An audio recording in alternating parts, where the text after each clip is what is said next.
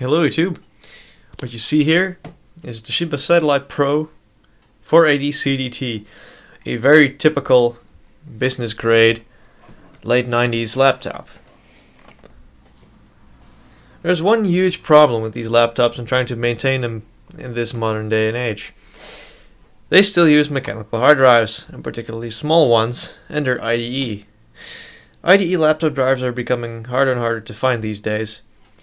But there is one really, not really all that cheap, but certainly very affordable way to upgrade these, upgrade these things from mechanical storage to solid state storage, or flash storage, if, if you will. And that's by converting these from the IDE hard drives to compact flash. That's what we're going to do with this Satellite Pro here. So I got this stuff in the mail today. This is the actual converter from compact flash to IDE. And this is a 4 gigabyte compact flash card 133X which should be more than fast enough for this. Okay. So here's the adapter. Let's get it out of its packaging first. You know what? I'll get these things unwrapped and then we'll start looking at the laptop itself Okie dokie, so there it is, the 4GB Transcend flash card, compact flash card, is in the IDE enclosure, or adapter. I got inspired to do this uh, a while ago, I believe like three to four weeks ago, when YouTube user lmull3 converted his old Packard Bell desktop system to solid state storage as well. So I just went online to Deal Extreme. I'm just taking out all these components for no apparent reason, but okay. But uh, I lost my train of thought there. So YouTube user ML3 converted his Packard Bell to solid state storage or flash storage. And I was like, hmm, I should do this on my Toshiba Satellite Pro because this thing, well the hard drive in this thing is starting to age and it's uh, not all that great condition anymore. And this is actually one of the laps that I actually want to really you know, preserve as much as I can because I just totally love this thing. It has uh, a Yamaha OPL3 sound chip. It's also found in the Sound Blaster 16, so that makes it great for DOS games. That's what I want to use it for, primarily, until I get my uh, project uh, that I will not really have any further details on so far in in my house here. Okay, this thing is decided to be a bitch today, so I have to force it out. That's fine with me if you want to play it hardball. So let's pull out the hard drive of this Toshiba Satellite Pro laptop right now.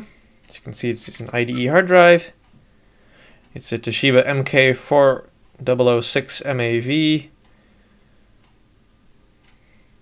4099 megabytes. So it's a 4 gig, just like compact flash card over there.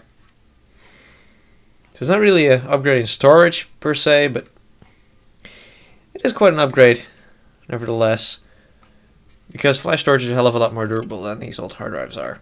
So this is going in storage because it is in pretty good condition right now, but I actually want to keep it that way. If I come across any old laptops in the future, I can actually, you know, still have back it up or use a backup drive as a that's pretty much this thing here. I don't really know what I'm going at, but uh, anyway, it's time uh, to undo these screws and to see how I can uh, find a proper way of mounting the compact flash card. That should be interesting. Okay, the compact flash card is now installed, and I've taken the liberty to uh, put my Windows 98 CD-ROM in there, so I could uh, so I can check if there is actually a partition in there. Here is the Toshiba hard drive, the 4 gig one that I took out.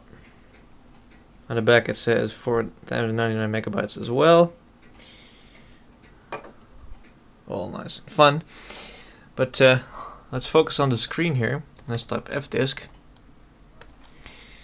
And let's see if we can actually find a partition on this thing.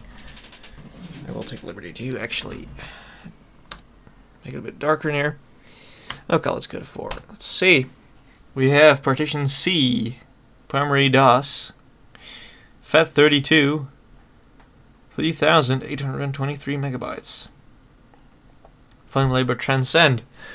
That is, in fact, the compact flash card. So we have successfully upgraded the Toshiba Satellite Pro 480 CDT to compact flash or flash storage. Hell yes! I guess it's now time to uh, slap some Windows on there and see what it does. But uh, that will be a future video. This is just the upgrade video, so stay tuned for more. I can't wait to see how big of a difference this really is. It certainly is whisper quiet now. There's absolutely not a single component in this laptop right now making any noise, aside from the CD drive and spinning up. Liking it so far?